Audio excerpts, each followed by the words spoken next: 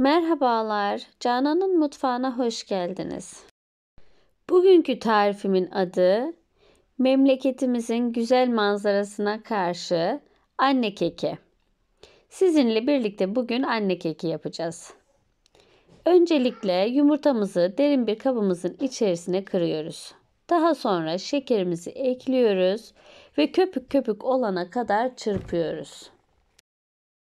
Yumurta ve şekerimizi güzelce çırptıktan sonra daha sonra içerisine sıvı yağımızı ekliyoruz. Sütümüzü ekliyoruz. Tekrardan karıştırıyoruz. Yavaş yavaş kontrollü bir şekilde unumuzu ilave ediyoruz.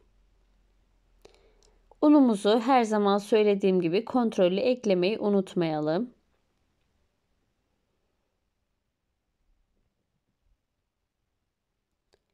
Unumuzu da ekleyip güzelce çırptıktan sonra şimdi kabartma tozumuzu ekliyoruz.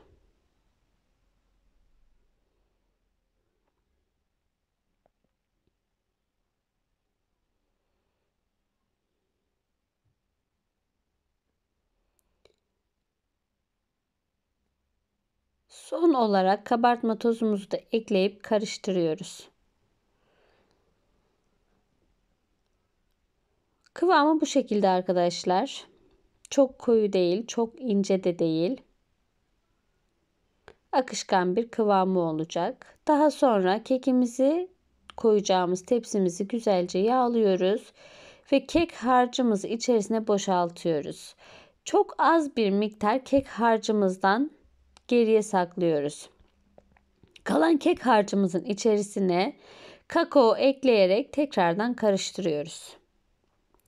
Kakaomuz kek harcımızın kıvamını koyulaştıracağı için çok az süt ekleyerek tekrardan karıştırıyoruz.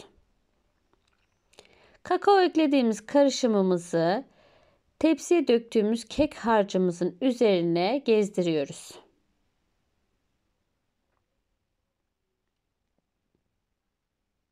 Kakaolu harcımızı da tepsiye döktükten sonra isterseniz kürdanla isterseniz kaşık yardımıyla tepsimizin üzerinden zikzaklar çiziyoruz. İstediğiniz gibi çizip desen verebilirsiniz. Tamamen size kalmış.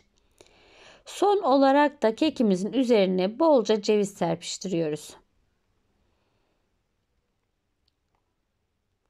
Şimdi kekimizin pişme zamanı. Kekimizi odun ateşinde pişirdik. Çok lezzetli oldu. Kürdanımızın olmadığı yerde kibrit çöpümüz devreye giriyor arkadaşlar.